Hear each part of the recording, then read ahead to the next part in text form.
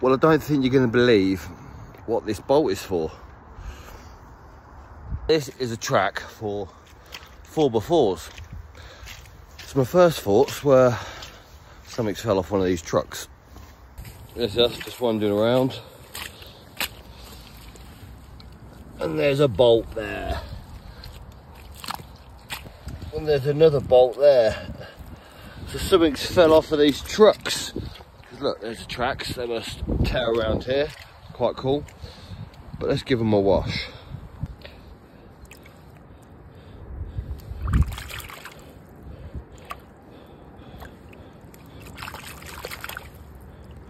It's a weird bolt. What is it off of? And there's a, two of them. There might be more, but I didn't want to dig around in the mud. There's two little bolts. Where the hell would these go on a truck?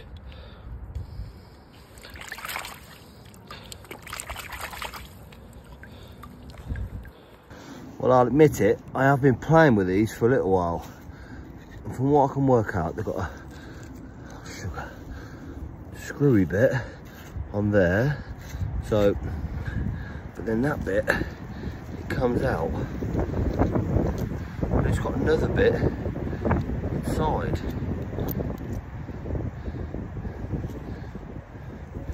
And then this bit goes on here. This bit goes on here.